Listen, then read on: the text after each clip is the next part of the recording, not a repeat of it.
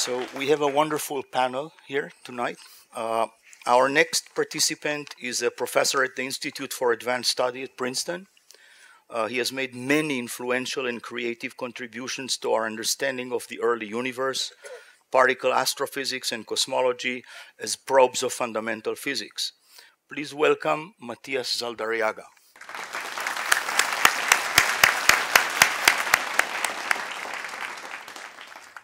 Our next guest is a theorist with a wide ranging interest in fundamental physics, from high energy physics and string theory to cosmology and collider physics.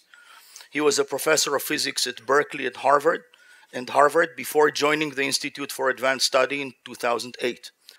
Please welcome Nima Arkani Hamed.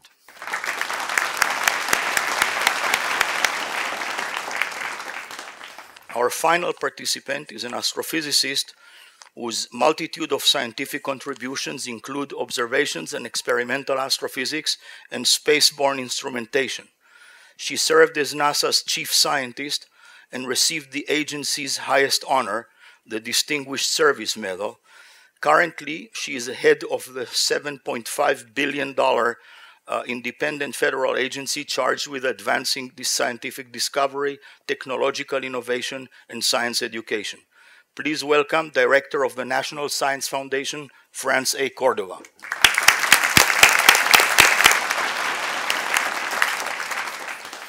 So first, let me just try to set the stage for our conversation here. Um, the past few decades have been fairly spectacular for fundamental physics.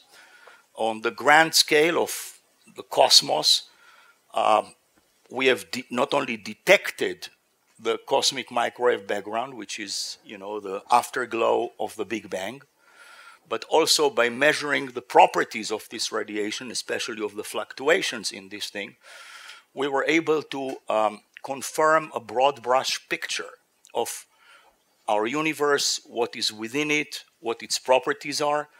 Uh, we determined six parameters to high accuracy that determine our universe. Uh, we know now a lot about, you know, what the universe is made of. We know that ordinary matter, for example, the stuff that we're made of, stars are made of, galaxies are made of, is less than 5% of the cosmic energy budget. About 25% or so, or so is dark matter, which is matter that, while has a gravitational influence, it does not emit or absorb any light. The rest 70% is in the form of some smooth form that fills all space, which we sometimes call dark energy. It's consistent with Einstein's famous cosmological constant. We measured the expansion rate of the universe, and we know that rate locally with an error no bigger than 2.4%, which means we can determine the age of the universe with that type of accuracy. Uh, I actually looked it up, and it turns out that the, all the medical techniques we have today, we cannot determine the age of a person with that type of accuracy. Wow. But we can determine the age of the universe with that. Um, so this is on the grand scale of things. On the small scale, um, we have a standard model of particle physics where we know what we think are the basic constituents of matter. Uh, these are quarks, leptons. Uh, we also know the there are force, four force carriers, you know, carrier of the electromagnetic, of the weak, of the strong interaction. And this culminated in 2012 with the discovery of the Higgs boson, or at least a particle that has those properties, uh, which is again associated with the field that permeates all space and which gives mass, we think, to all the particles that we all know and love. So this is also an amazing achievement. We uh, discovered for the first time, man managed to detect gravitational waves. These are ripples in space-time predicted by Einstein's theory of general relativity and for looked for for decades and we finally found them. So this is all amazing. Now, in spite of all of these enormous successes, there have been a few surprises, and some might even say disappointments at some level. So, for example, in the cosmic microwave background, uh, there is a strong prediction from our model, which is called inflation, that you know the universe was when it was a tiny fraction of a second old, it expanded like crazy. Um, that there should be some imprint in the cosmic microwave background in the form of polarization, some some form. Now, those have not been detected yet. This does not mean they are not there. Uh, it's just that they haven't been yet uh, detected. Um, in the particle physics side, uh, there have been uh, strong predictions or expectations, I should say, that in the Large Hadron Collider we will discover supersymmetry. That namely that each particle that we all know and love would have a partner that has a spin that is half a unit removed from that. Those haven't been detected yet. The mass of the Higgs boson was a surprise to some. And in particular, it was thought that maybe the mass that was found means that there should be other particles in its vicinity. Those were not found. So basically, we understand now that there is still a lot of work to be done. So now I will turn to the participants here and you know let's see how we can make progress. So I will start by asking each one of you to tell me very briefly, I mean in something like three minutes, uh, what are you working on right now? So, so I'll start with you, Matias. Great. So right now I'm working on two things. So I'm very interested in the things that could be left over from the very beginning, from the beginning of the hot Big Bang in the form of these uh, small fluctuations that then grow to form the structure that we see in the universe. And the good thing about them is that they have a lot of memory. So when we look at things today, we can kind of play back the picture and try to understand how they started. And uh, I'm interested in several of those properties, and I'm uh, working in trying to improve the ways um, the ways uh, that we run this movie backwards to try to extract more information about how things started, uh, because that's to me one of the big mysteries. Nima. Well, I'm thinking about uh, things on the two extremes that you uh, alluded to on on the uh, very very short distance frontier, very high energy frontier. For the past number of years, I've been uh, uh, thinking a lot about um, uh, how we could experimentally study um, in as much detail as possible and what we could learn um, if we got this experimental information about properties of the Higgs particle. the Higgs particle is a very strange particle. We've never seen anything like it before. Um, and it's uh, more more uh, uh, more point-like than you would naively expect it to be. Um, uh, Namely, has no structure. Yeah, there doesn't seem to have any any structure. It seems to be like uh, like purely point-like. Doesn't seem to have any sub substructure at all. And um, uh, a whole bunch of people are are um, are, are, studying the prospects of having another accelerator after the LHC could be 100 kilometers around.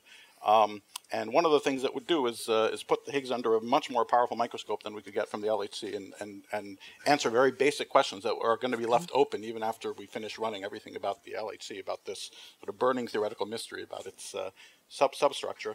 In the opposite direction of uh, what literally working on, on, on the train on, on, on the way up here uh, is uh, has to do with some questions about uh, cosmology. Uh, cosmology is just the most glorious of the historical sciences, but like all historical sciences, it has an interesting relationship with the notion of time. None of us were around uh, during the early universe, um, but we infer this past and the Big Bang and even inflation and all this stuff because we make uh, measurements today at very late times about sort of correlations in space. Um, and we decide that the best way of making sense of those correlations in space is by inferring the existence of a time and a cosmological time and evolution that came before that. A lot like a paleontologist infers the existence of dinosaurs from the uh, existence of uh, big bones lying around. Um, but uh, for many reasons, we expect the notion of time has got to ultimately break down. It can't be fundamental, especially when we get back to the Big Bang. Uh, probably it's a notion of time which is breaking down. So that, that suggests theoretically there should be some way of talking about things without uh, making such heavy use of this concept of time. And so I've been working theoretically on trying to find some interesting uh, new mathematical structures that could uh, replace time in our understanding of where these spatial correlations come from. Right, and time would, in that sense, be an emergent property. Time would be an emergent property. Emerges. Indeed. Yeah. Okay. Yes. Thanks, okay. France. I, I realize that you know you are it's it's somewhat different in, mm-hmm. in terms of what you. Mm-hmm. So in, in your case, I would insist on. I mean, what is currently most occupying you, you know your time? I run a big agency that funds all of science and engineering, everything except for the biomedical sciences, which the National Institutes of Health does. So we fund everything from social and behavioral sciences to geosciences, biological sciences, computer sciences, clearly physics, astronomy, chemistry, material sciences, mathematics and uh, and so on. I'm sure I left something out. We also run the U.S. Antarctica program, and so we have a lot of science there at the South Pole, including an experiment that's called IceCube, which is a big neutrino detector at the South Pole, about a square kilometer array of uh, photomultipliers that are that go down kilometer into the ice and detect neutrinos from the heavens. But on the practical side of serving science, we're building some very big telescopes for the future, and we're also trying to uh, make better the telescopes that we currently have. So, as one example on the gravitational wave experiment, we know there are lots of uh, noise that affects the, the spectrum, uh, the frequency spectrum for detecting gravitational wave from seismic noise to thermal noise to shot noise. And so, if we can improve the equipment, um, so those are technological advances that we are working on, and we have in, in the laboratories where, where these uh, uh people work and uh, all over the country. We have young young people working on things like using quantum physics to squeeze light so we can get a big better focus on the laser light source for LIGO. So we're trying to to reduce, uh, increase the sensitivity, reduce the noise, and thereby be able to detect uh, sources of gravitational waves much farther out. So already this in this run that we're having now, which is called the second run of this uh, facility, we have uh, improved by a factor of 20 to 30 percent the sensitivity. So we'll keep going in that direction while also building a lot of new telescopes to observe dark energy, dark matter in the ways you talked about. And, and, you hope to reach a factor of three, right? At least in sensitivity. Uh, yes, with the once current. everything is yes. said and done. Yeah. Yeah. Yeah. Mm-hmm. Good. Matias, uh, I know that you have thought quite a bit uh, and pr- presumably still work on this thing called non-Gaussianity in yes. the cosmic microwave background. So, uh, you know, everything in life we think is Gaussian. You know, it depends on this bell-shaped curve. Uh, but in the cosmic microwave background, everything is also Gaussian, but different theories predict a small, you know, deviation from this Gaussianity. So explain to us a little bit, you know, what is involved there and what does it mean if it is being detected? Yeah, so I think uh, the the first thing to to um, uh, point out is that we are always looking for things that are left over from the very beginning and that the subsequent evolution of the universe has a difficult time changing. So, for example, natural thing that we would look, uh, try to look, see if the universe has a different composition in different places. But even a universe that started with different compositions, some physical processes in between can make the composition all the same. So you can erase um, erase composition differences. However, um, when we look at the statistics of these fluctuations, this property, the Gaussianity of it, is something that uh, um, is pretty much impossible to, to um, at least on the very large scales, to um, erase.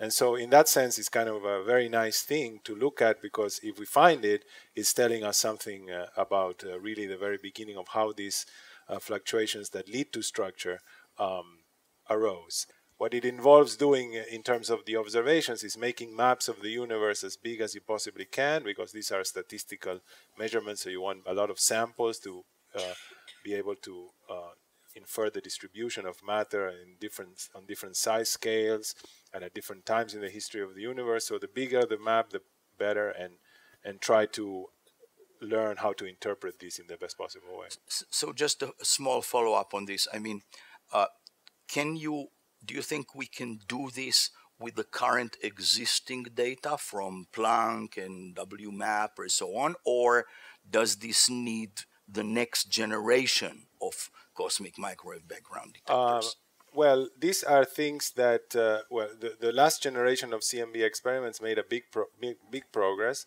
uh, on that. But basically, in the CMB, we've mapped the, the entire sky almost uh, up to the highest resolution that uh, we can possibly do it. Um, there is uh, we, we can do better in polarization, so there is a little bit of improvement, but not a qualitative improvement. So I think uh, most probably to get a not just a little bit of an improvement, which of course is very nice to have, and, and we are working, people are working on it, and it will happen. But to have an, a, another order of magnitude, we will probably need to look for some other probes, mainly mapping the distribution of matter in the later universe, and um, and there the current constraints on Gaussianity from those uh, from those surveys are are significantly weaker than the ones that we have in the CMB. So it means that this field has to catch up quite a bit, learn how to do things, and it'll be the next few generations of, uh, of surveys that will do this, and eventually, hopefully, uh, they, they, they'll, they'll catch up because indeed, there's a big part of the universe we have not yet mapped. So in terms of our, the data that is out there, there's a lot. Right. Nima, um, you know, we, we talked about, you know, some of these things that, that, you know, we now know and some of the problems that we have. I, I know that such people as uh, Savvas Dimopoulos and some of his students and ex-students and so on uh, work on um, tabletop experiments, which, uh, you know, I mean, now Matias now talked about, you know, bigger experiments and so on, but this is a new type of experiments that perhaps can probe some of the things we're talking about, dark energy, dark matter, you know, and so on. Can you explain a little bit to us how those tabletop experiments work? Yeah, I mean, if I just put it in a, a little bit of uh, context, uh, we've uh, um, certainly the generation of people like me and Matias have uh, uh, have uh, lived through three decades of amazing experiments probing fundamental physics on every possible frontier. On you know, there's dark matter, the measurements of the universe, uh, colliders, um, uh, most recently the LHC. Uh, and most of these experiments were imagined and conceived uh, by people in the 1980s who had a sort of vision for what the next 30 years was going to look like. And uh, uh, many of these experiments are in their last stages, and it's, I think, a very interesting time to, to think about uh, what the next 30 years are going to look like, because that's the kind of timescale we talk about in this business. You really have to think sort of three decades uh, uh, at on, least, I would at say. least, yeah, if not if not longer. Um, it's getting longer. So the, there are, of course, there's a there's a whole uh, very important uh, new generation of uh, experiments that Matias was just alluding to to measure everything we possibly can about the distribution of matter um, in the universe. There's I forget what the factor is, but maybe a factor of uh, what is it like 10 to the 8 times more data yeah. potentially uh, out there that we can get as human beings 100 million than, yes, 100 million than, uh, than um, uh, what, what, what we actually have. There's the experiments I, I alluded to earlier about uh, uh, taking the sort of next big step after the Large Hadron Collider, a factor of 10, 7, 10 in energy higher than that. Um, but there are some novel things that people are, uh, are talking about. Um, which are mostly targeted at looking for um, things that might be out there that could be related to dark matter uh, that are incredibly weakly interacting with us. Now, dark matter is is one of the things that's uh, supposed to be incredibly weakly interacting with us par excellence, right? That that, that, that we're, we're, supposed to think that it uh, that uh, that we've only noticed its effects gravitationally, and uh, and gravity is by far the weakest of all interactions there are. So um, most of the experiments over the last uh, 20 years that have been looking for dark matter have been assuming, uh, and there's various good theoretical reasons uh, why it's nice to assume so, have been assuming that the dark matter particle does participate in some of the interactions that we, we know about. Um, uh, the weak interactions that are associated with radioactivity um, uh, are an, an incredibly weak um, interaction, but still, it's uh, strong enough that people could design all these amazing experiments to look for dark matter particles. And in the range that they're looking for, there's sort of one of them in every liter in this room, you know, moving through the room at uh, one one thousandth the speed of light. Um, and they would bang into like very cold big vats of uh, liquid xenon, for example, and you look for the little shakings of the right. nucleus of these atoms. So those are the kind of experiments people have been doing for a long time. But it's possible that dark matter doesn't no look, results, look, like that. With yeah, no we results, haven't seen anything. We haven't yeah. seen anything. Now, now um, uh, these things are called. Uh, this picture for dark matter is called the picture of WIMPs. Uh, the W in WIMP stands for weakly interacting massive particles, and the weak is actually, it really is a technical sense of the word, the weak interactions. It, it has that kind of strength uh, interaction. It's actually possible that the dark matter even is very simple uh, picture of WIMPs, but that the interaction is just too weak. In fact, the very, very simplest, dumbest, most straightforward possible picture for what dark matter uh, could be, it just accidentally happens to be so weakly coupled that these experiments are not going to see them. Um, but there have been also long been many other interesting examples of uh, particles that could uh, that could solve many theoretical problems and also be dark matter. Things like uh, axions, for example. Right. And these are an interesting kind of particle. There's zillions of them surrounding us all the time. They have very small mass. There's zillions of them surrounding us all the time. They're more strongly interacting than gravity, but way weakly, more weakly interacting than, than everything else. And so you need a totally different kind of experiment to go uh, looking for them. And um, what uh, the, the, this new generation of experiments that you're uh, referring to use cool methods from atomic physics. Um, uh, the our growing ability to quantum mechanically manipulate fairly macroscopic objects in order to look for these things. Just just to give you uh, one uh, example, um, if these uh, particles are out there and they're dark matter, one of the predictions is that the neutron um, uh, uh, the neutron, which is a neutral particle, uh, would have a tiny so-called electric dipole moment. That would mean that uh, that that it would be as if the neutron, while it's neutral, has a little bit more charge in one direction in the north pole than in the south pole if it's spinning with a with a spin going in the north-south direction. Um, and so, and that tiny, tiny electric dipole moment would actually oscillate with time. And so you can use fancy uh, methods from atomic physics, essentially using the, the same ideas from nuclear magnetic resonance, to uh, pick up and amplify that, uh, that uh, oscillating neutron electric dipole. Just to say, nuclear magnetic resonance is what is used in all your MRI imaging and so on. Right. So. So that's that's one example, and there and there are a number of other examples like this. But there's this new frontier of looking for uh, very weakly interacting things that could be, if they're if they're the dark matter, could be filling uh, the universe around us, and that's uh, I think it's it's very exciting. Right, and maybe I should uh, also add, and maybe you can add a little bit too. I mean, some of these experiments also do these things with tiny, tiny micron size objects and you know in acting in gra- gravity between such things which is a force that's uh, just about the weight of a virus um, yeah so and, and, so and, and, testing how gravity changes on these types of scales just just so you have an idea what we we uh, we often say that gravity is the weakest of all forces. And uh, if you take a if you take a pair of electrons uh, their their uh, electric repulsion is 42 orders of magnitude stronger than the gravitational attraction between them. That's one so, in 40 zeros. One in 42 that. zeros, yeah. So um, now, uh, of course, gravity looks like the most important force. Uh, here it's keeping our feet to the ground and, and, and, and so on. And that's because most objects are, in, in the end, electrically neutral, right? Like atoms are, are electrically neutral. But, but you can ask, at what distance, if you take a pair of hydrogen atoms, at what distance do you have to put them so that gravity gets weaker than even the residual tiny, tiny little uh, uh, piece of the electromagnetic interaction that's left between them? It's called the van der Waals force. It turns out that that distance is around a millimeter.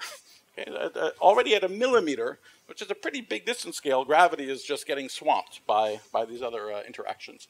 And so indeed, there are, there are people who manage to control, um, for example, the uh, the quantum mechanical coherence between two atoms that are separated by distances of this of this uh, order. So you could actually try to measure and uh, see the effects of gravity right. on these very small scales. Thanks, uh, France. Uh, we heard here of you know large scale experiments and tabletop type experiments, mm-hmm. you know, and so mm-hmm. on. H- how does the NSF work in terms of prioritizing or not uh-huh. uh, big versus small experiments yeah. and so on because we're talking here about right. different classes of experiments sure. things that cost billions of dollars and things that are tabletop experiments which probably still cost hundreds of thousands of dollars maybe but you know it's still like very tens of millions of dollars yeah, right. it's okay yeah. yeah so it's it's an interesting question from many aspects because, of course, you know, even though we have in principle seven and a half billion dollars to spend, it's it's just a drop in a bucket when it comes to funding of all of science and uh, engineering. And so it's a question of how one sets one's priorities and how you balance little versus big things to invest in because you want to have an investment portfolio. We all want it in our personal lives that that balances for different objectives and goals and has a balanced portfolio. So we really depend on the science and engineering community to be the major source of input for that. But believe me, we get a lot of input from other sources too. One major source of input is the National Academy of Sciences. So, especially in astronomy and physics, we have these reports that come out every decade or five years uh, for the high energy physics thing every few years, um, and those are those represent uh, hundreds, even thousands of scientists and engineers coming together and decide and having these kinds of conversations just like this, only really intense about you know if we just build you know this kind of detector, then even though it'll take ten years and so on, and so they they put all that together in a report that Congress really respects because it represents different input than the agency itself. And we we pretty much follow the guidelines of those reports. We just draw the boundary at how much money we have to fund them. And so we have, uh, we fund very big things that cost hundreds of millions of dollars. Like I mentioned in LIGO, altogether we've put in uh, a billion dollars plus. Um, and we fund, we have a program called Major Research Instrumentation in Universities that funds up to $4 million projects. The, the area that we're most worried about leaving out right now is, is the area in the middle that costs anywhere from, say, 10 to um, $100 million because we don't have specific pots of money designed for that. Uh, Matias, I want to turn uh, slightly provocative here uh, in the following sense. Um, you know, we've we've been looking for dark matter now for a long time, and we've not found anything. Now, it is true that the dark matter particles they have a lot of where to hide. But still, we have not found anything. So there are a few people, there are not very many right now, but there are a few people, one of them happens to be a good friend of mine, who suggests that there are no such dark matter particles, that instead we need to change our theory. And there have been historical precedents to this. I mean, you know, like uh, when Einstein was there and there was ether, you know, and so on, the idea was not to have something that you don't see, but to change the theory. So, and similarly with the precession of Mercury, right? We had to change the theory. At what point, if any, do we say, well, maybe we shouldn't build even a bigger experiment or not? Let's think harder of changing the theory? Um, well, whenever there, if, if, if, there comes a theory that explains everything and, and more things, then everybody will jump. of course. So, uh, what a, a, problem is the, the, the lack of, the, of such a theory. But also, it's important to realize that uh, um, dark matter was introduced, uh, as you know, because of discrepancies in galaxies and clusters of galaxies. Uh, but that's nowhere not at all now from where we get most of our information or all of our information of about how dark, much dark matter there is or how it is distributed. It's from the cosmic microwave background, it's from gravitational lensing, all things that were not um, were not there when dark matter first the first anomalies that led to people to think about the dark matter came about.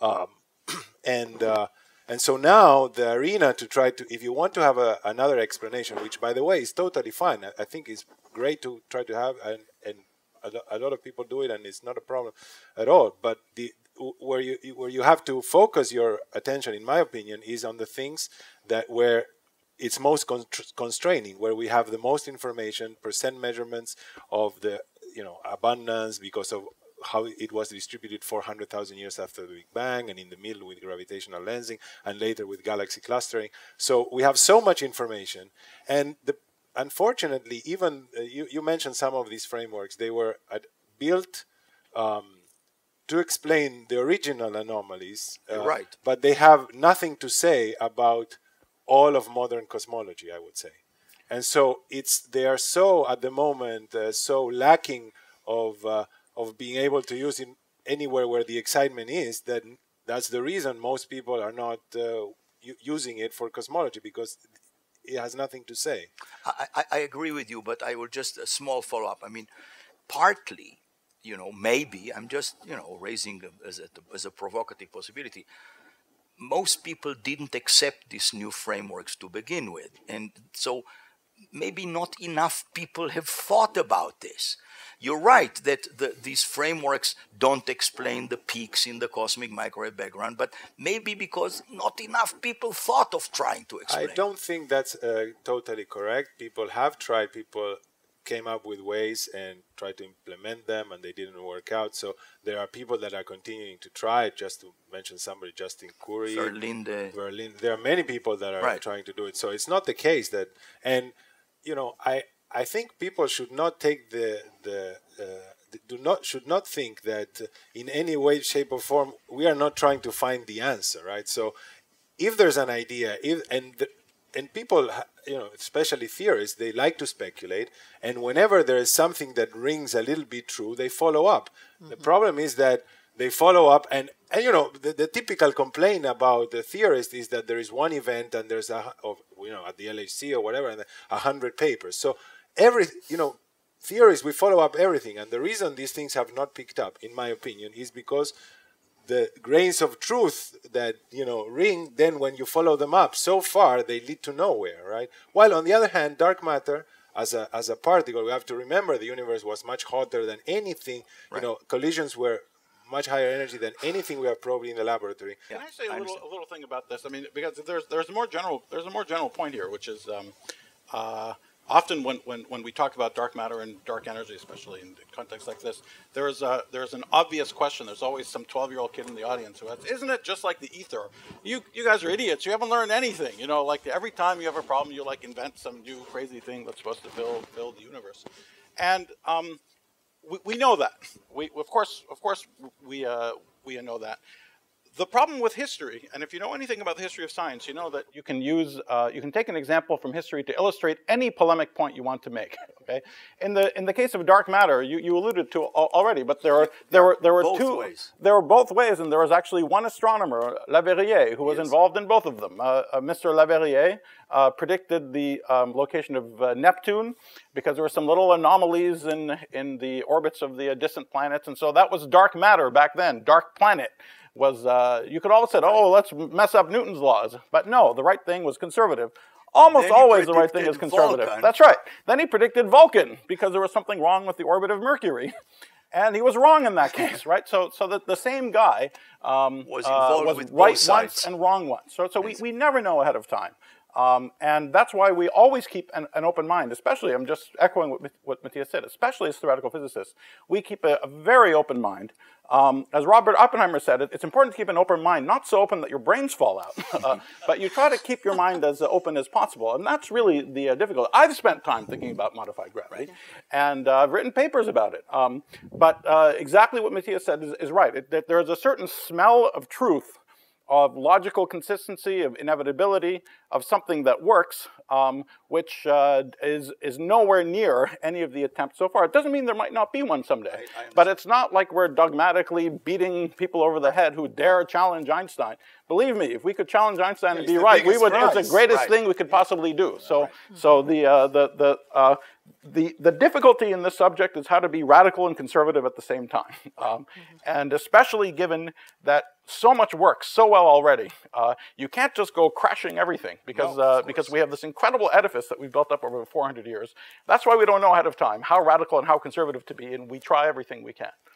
There's an, another point here. So we, we talked a little bit about the uh, the gravitational wave observatory, and this is the first time in the history of the planet that we now have an observatory that can detect sources of gravitational waves. So what did the first three sources turn out to be? Something that we didn't even know existed. Not something that that can't exist, but nobody was running around writing papers about binary black holes, especially of those kinds of masses of 20, 30 solar masses. And now we know that there's probably a very large population. So I asked one of your uh, contemporaries, theorist Ed Witten, um, at, at uh, MIT, um, I, I said, is um, is it possible that they could form a constituent of dark matter? And he said, actually, in it's interesting question because in parameter space there there is a place for them to to form. You know, not all of it, but uh, but how how do we know? You know, we're we're just you set up an, an uh, you invent a new kind of technology uh, that can can detect the universe in a whole new way. You discover a class of sources. Maybe there are many classes of sources, and they don't have to be like that. But but that's that's just the beauty of what we're involved in right now is that we're always discovering something new that's going to shed some light. And who knows if, if those will be connected to the dark matter question. But they're certainly connected to the evolution of the universe in some way. And, well, and just to say something very quickly about that since you uh, since there was something at the very end of your question to Matias. You said shouldn't we just uh, might might we better not be served by by thinking about something new rather than doing more and more complicated experiments. I was, and I think I the I know I know you're being provocative, but but I think the answer is theorists are theorists and do what theorists do. We're cheap. Uh, but we should do every conceivable experiment we can that we can do using the technology, the greatest technology we have at any time, to learn more about the universe experimentally, because surprises happen every single time we do. That's right. Uh, Nima, uh, I want to ask you, um, and this this particular concept that I'm going to bring up now actually raises the blood pressure of many of my friends, uh, but I know it doesn't raise your blood pressure, and neither of Matias. I want to bring about the multiverse. So basically, um, in recent years, I think it's fair to say that it's fairly recent. I mean, it's been around for a while, but, but not that long.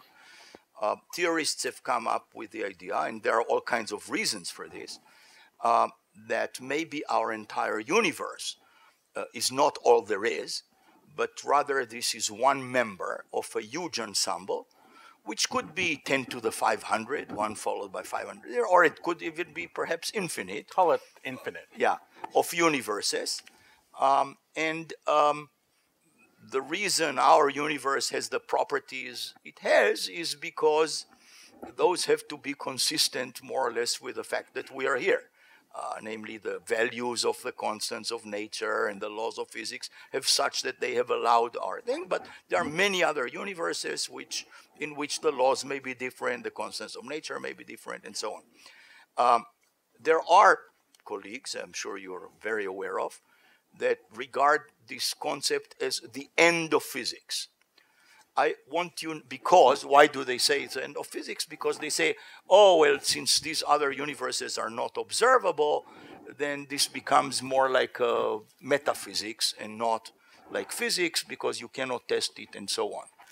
Now, I happen to know that you believe that this is not the case, and I want you now to explain this a little bit. Yeah, well, the discussions of the multiverse didn't use, I mean, they, they don't uh, raise my uh, blood blood pressure because of uh, because I think there's something um, uh, intellectually wrong, wrong with talking about it. Although my, my blood pressure does increase because an enormous amount of nonsense is said about it in both directions, both in the in, in pro and uh, con con direction. So let me just say one thing uh, just uh, before, uh, just to set the context for the discussion. Um, even the theory, the idea that, that there's a multiverse is not a theory yet. It's not even a theory at the level that we're used to in theoretical physics. Uh, there's all kinds of things that we talk about that we have not yet verified uh, are there in nature. For example, things like supersymmetry, right. uh, ideas uh, like that. These deserve to be called theories because we understand the, the, the theoretical structure well enough uh, to know what we're talking about. To make, uh, to say if this and this and that is true, then we can make a lot of other predictions. It may or may not be realized in nature, um, but it still deserves to be called a theory. It's, uh, we understand the, uh, the ingredients. The multiverse is not like that. Um, it's at the, the, the ideas and concepts involved with the multiverse are at the very edge of the things that we even uh, conceptually know how to uh, talk about. I think of it as a caricature for something that might be true. It doesn't even rise to the level of a theory yet.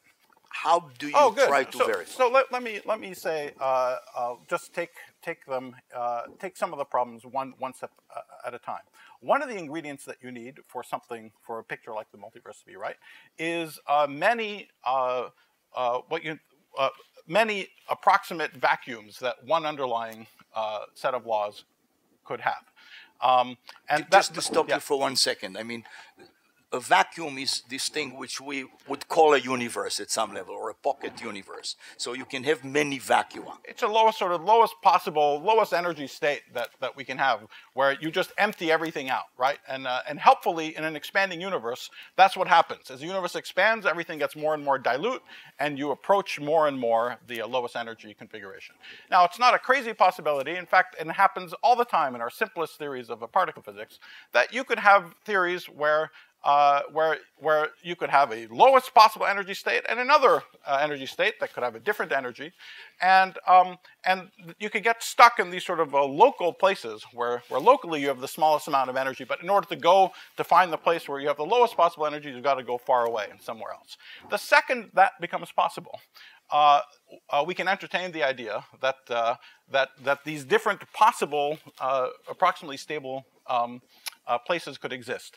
That piece of the multiverse could in principle be verified by experiments in our universe. That so, could be in principle verified so give by an doing, example. I'll, I'll, give you an example. Now, now we, we don't, we, since we don't know the, we don't know the, the energies involved, but, but so for the barriers between one local minimum here, another local minimum there, those energies could be gargantuan. They could be much, much higher than energy, any energy that we could make in so accelerator. think of a right. landscape which has valleys, but between right. them there can be huge mountains. Exactly. They're just enormous mountains. But if you have enough energy to climb over the enormous mountains, then you could make little bubbles of the other regions, and you can really make them. You could make them in a laboratory. You could send little elementary particles in and say, oh, gosh, I'm the Higgs particle. Out here I have this mass. In there I have a different mass. Wow, and it comes back out, and you can actually see all of that. You could, in principle, see that there is 10 to the 500 different possibilities. All of that you could actually, in principle, definitely not in practice as far as we can tell, but, but, uh, but in principle, uh, it's not a question of philosophy, it is a question of uh, physics.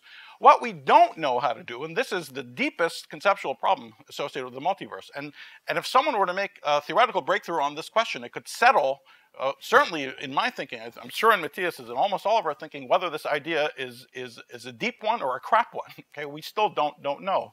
The deepest conceptual problem is how are these different regions realized out there in the universe?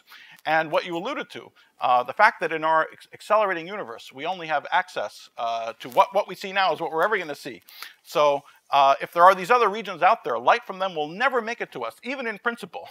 That's a good reason to be suspicious about whether it actually makes sense to invoke them and talk about them. Um, we don't know if it makes sense to invoke them or talking about them. Invoking and talking about them is a little bit like invoking and talking about what's on the other side of a black hole, of the horizon of a black hole. And um, you know, in the last uh, 20 years, we've understood that there is some subtle way that uh, quantum mechanics lets you see into the inside of a black hole and get the information about what's in there out. So it's possible that similarly, there's some very subtle way in which uh, uh quantum effects now applied to the entire universe uh, will uh, help us make sense of what, what's going on behind the horizon out there in the multiverse. But this is a part which is totally uh, speculation at this point. Right. But but imagine we did the experiments that showed that these 10 to the 500 different environments existed. It would be very hard not to believe that uh, there should be that that they play some role right. in uh, in um, uh, in controlling the properties of our world. Right. And that part is not philosophy. That part is actually physics. Right. I, I, I just want to add two things. One very simple and one a little bit more subtle. And one is that you see, at the time, there was this great astronomer, Johannes Kepler. And he, was really very smart, and he was the great astronomer. And he thought that he can explain why in the solar system there are exactly six planets. Six were known at his time. Because he thought that that is a fundamental property of the universe which can be explained from first principles. Today we know that's an accident, really. In this way, it could in principle be that some properties of our universe, which we now regard as fundamental, are in fact accidental. And, you know, they get different values in these different members of the ensemble. Matias, I'll ask you one more question, and then I want to leave enough time for the audience to ask questions as well. Um, you alluded to this, but I just want to sharpen it a little bit. Um, the very early universe uh, is relatively simple. Uh, you know, only fundamental things happen there. But it is also far away and not that easy to observe. The nearby universe we can observe more easily, but it's a mess. because it involves all kinds of processes of star formation and planet formation and galaxy formation and whatnot and so on. Is there a sweet spot somewhere where you know you get the benefit of both worlds? Well, I think the clear um, sweet spot is the cosmic microwave background. In the history of the universe, it is more or less much more in between the and that you, you perhaps are calling it the early universe, but it's 400,000 years after right. the Big Bang. So that's uh, pretty late for a lot of. Uh, it depends, but um, so that's then it, it's true. It it, it gets uh, more and more complicated, and that's uh, for example when we were talking about the discussions about dark matter.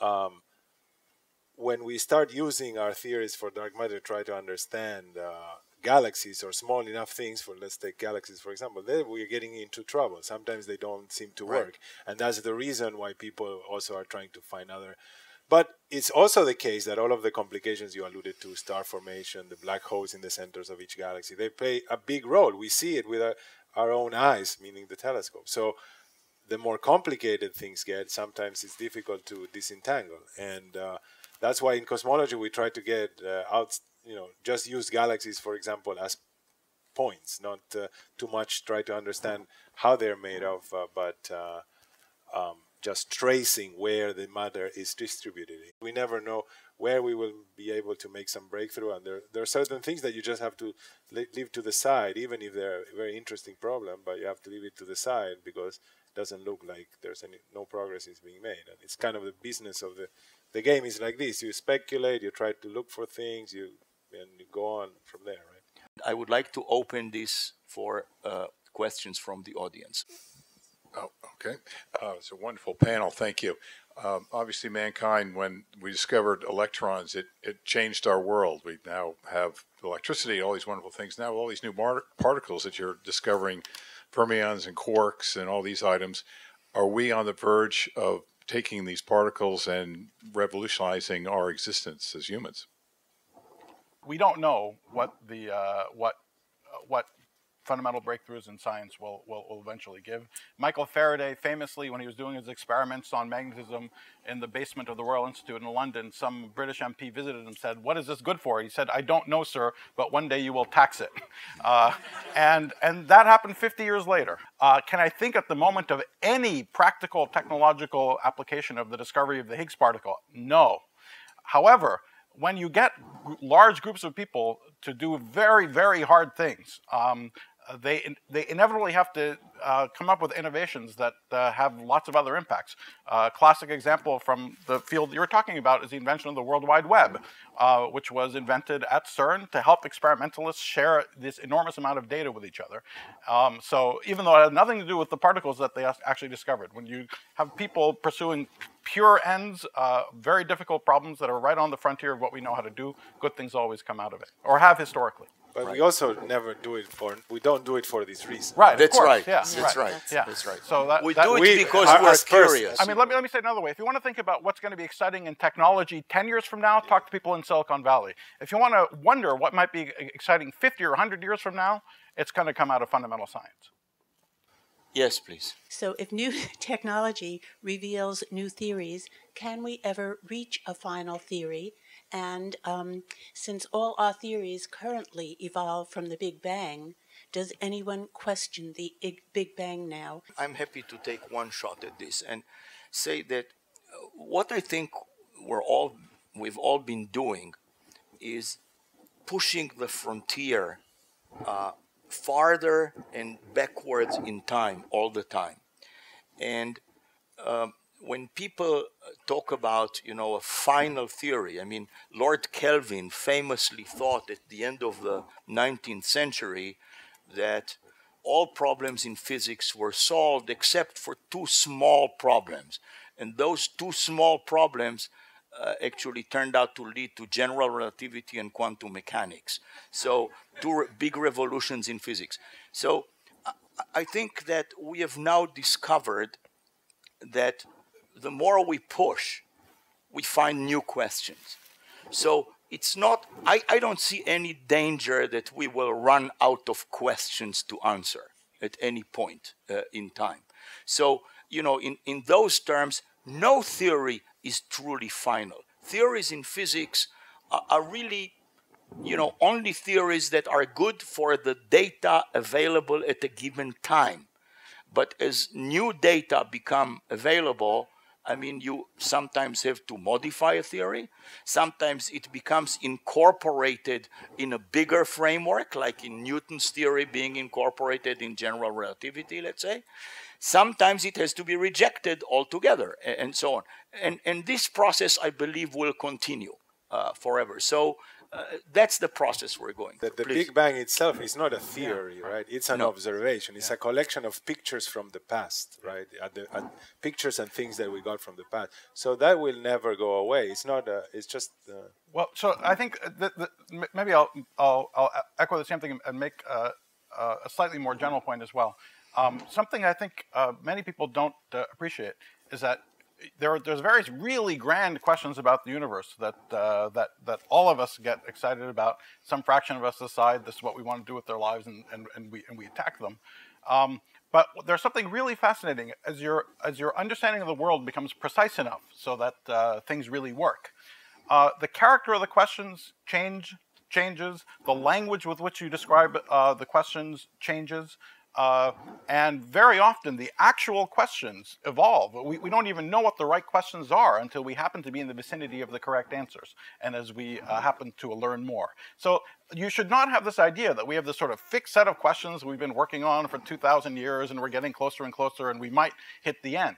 It's Something much more interesting is happening, that, that we're, we're learning more and deeper and more profound things about the world that's allowing us to ask entirely new kinds of questions, things that we weren't even questions before become questions and so on. Uh, and going back to what Matias said, we have as much evidence as we'll, uh, and we'll only get more, that, that, that the Earth, the, the, the universe is expanding. As you run the picture backward in time, it got denser and hotter. And, uh, and that hot, dense early period of the universe is what we colloquially call the Big Bang. What you're referring to as the Big Bang, and many prefer, people refer to the Big Bang, is this sort of mathematical singularity of a point where everything starts back in time. And that's the thing which we don't understand. Uh, we don't understand, and what's very likely going on is, is that the whole notion of time is breaking down there. It's not a question of figuring out what came before. That the whole notion of time uh, was probably born there, or is certainly breaking down there. And if that sounds like a very tall order to figure out what it means, it is a tall order to figure out what it means. Okay, and that's what people are trying their best to, you know, take little bits and pieces off that problem and make some progress on it. Is this gentleman over here? Is it felt that the universe is infinite? And if it is felt to be infinite, in what sense is it infinite? And how did something that was finite become infinite in finite time? Oh, the, the easy answer would, would be to say that we only see as uh, uh, some region of the universe and what's outside, I have no idea. That would be the, the standard answer that I would give. I don't know if it's infinite or if it's curved and it comes back and it's like the surface of a ball and it's really infinite. Uh, we don't know. For all we see, we don't see any curvature of this ball. Um, we, when we see further away, things look more or less the same. So we, it does. It looks pretty much homogeneous. We clearly see that if it you know finishes or it has a curvature is much bigger. The region that looks like the part of the universe that we can see is probably goes on for for for a while. Other than that we don't really know. And uh, also how this started this started is also some of the you know these are questions whose answer we don't know and whether or not is our universe is connected to places which are completely different and it's so much bigger than uh, that what we see and the laws of physics are completely different But just say one thing about the question of uh, finiteness, because something very important happened in the late 1990s when we discovered the universe was accelerating, which is what we see in the universe. Whatever you might imagine in your mind's eye, the universe going on and on. That's what we've been uh, referring to. Um, Uh, because the universe is accelerating, what we see now in the universe is what we're ever, ever going to see. Uh, that's kind of an amazing thing. Um, uh, if the universe was not accelerating, if there was a picture from what people talked about in the books in the 1980s, and the universe just kept expanding forever, then it would be an experimental question if it was infinite or not. If you waited long enough, your great, great, great, great, great, great, great grandchildren would see more and more and more and more of the universe. We can't now. I mean, what we see now it was what we're ever going going to see. and of so course you're extrapolating right. that the acceleration of the universe Exactly, will that's continue right, exactly, because yes, yes. you believe That's right. True, true, true, I'll, true. I'll, But- add- but, I'll, uh, add- I- right. I'll make I'll make this even sharper. Yeah. If the universe continues to accelerate as it does, then maybe a trillion years from now, actually, if astronomers still live here, they, would wouldn't know not be able to see anything. Right. No, not one any galaxy. other galaxy, Right. just our galaxy. That will be it. And then all these stories about the universe, you know, this would be like mythology. You know. Okay, can we have this young woman here? If there is a multiverse, uh, how would our universe like interact with the other universes? How would that work? Do we know? Do you want to say something, Nima? Yeah. Um, well, uh, I, um, most obviously it wouldn't. Uh, that's one of the problems. That's that's one of the conceptual problems. Is that uh, all of this stuff is out there and it's beyond our cosmological horizon. Um, which, because we're accelerating, we're, we're, we we won't see we, we, we won't see any of that stuff. Now that might make you think uh, that, uh, uh, and we've gotten very wary in physics for many good reasons. Um, uh, we've gotten very wary of concepts and ideas that we can't even in principle see. And what I'm just talking about is not a question of practicality, right? Our acceleration makes it impossible for light from those regions to uh, to um, uh, to Reach uh, us. to uh, reach us. Now, it's conceivable. Sometimes people talk about uh, um, if we came from some parent underlying uh, uh, vacuum that that gave rise to us, that there could be other little bubbles, and those bubbles could collide with each other. Uh, this is something that uh, people talk about. It's an in principle possibility. I have to tell you, it's it's so vanishingly unlikely to uh, to happen that uh, if you hear about it in the press, you should be very skeptical. It's not. Um, uh, I mean, even theoretically, it's incredibly unlikely for it for it to happen. But it is, in, in principle, possible. Now, but having said all of this, uh, uh, the, uh, and this is part of the reason it's theoretically uh, difficult. Um, if it was clear that nothing about these other vacua, these other regions, could have any effect on us at all, then we would be almost certain that it's garbage and we shouldn't think about it. But it's not 100% obvious. Um, and the reason is that you can imagine other parts, or you can imagine futures that we could have, where if we exited our vacuum, but we went into another kind of uh, vacuum in the future, those observers could look back and look at the night sky and see, eventually, if they waited long enough, all these collisions happening with all these other bubbles, and they could see, if you waited long enough, there's somebody that could see the entire multiverse. It's not us, but in principle, there are some people that if you waited long enough, uh, uh, you could. But, but anyway, but the short answer to your question is in no conceivable way we can imagine now, other than these vanishingly unlikely uh, things involving collisions of bubbles. Thank you very much, Nima. Thank the panel and thank all of you for attending.